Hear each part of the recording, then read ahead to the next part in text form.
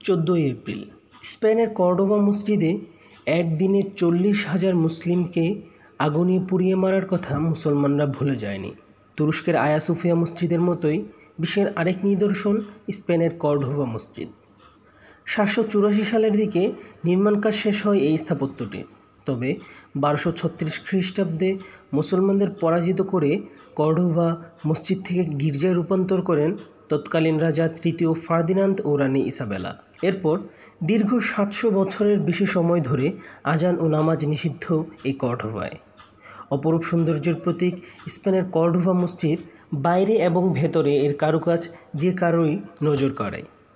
দৃষ্টিনন্দন এই মসজিদে ব্যবহার করা হয়েছে মার্বেলসহ মূল্যবান পাথরের নিখুঁত কারুকাজ। স্পেনের তৎকালীন খলিফা আব্দুর রহমানের শাসনামলে সাতশো চুরাশি সালে নির্মিত হয় ঐতিহাসিক এই স্থাপনাটি। নির্মাণের পাঁচশো বছরের বেশি সময় এখানে নামাজ আদায় করেন মুসলমানরা। ইসলামী শিক্ষা ও সালিশ কেন্দ্র হিসেবেও ব্যবহার হতো কর্ডোভা।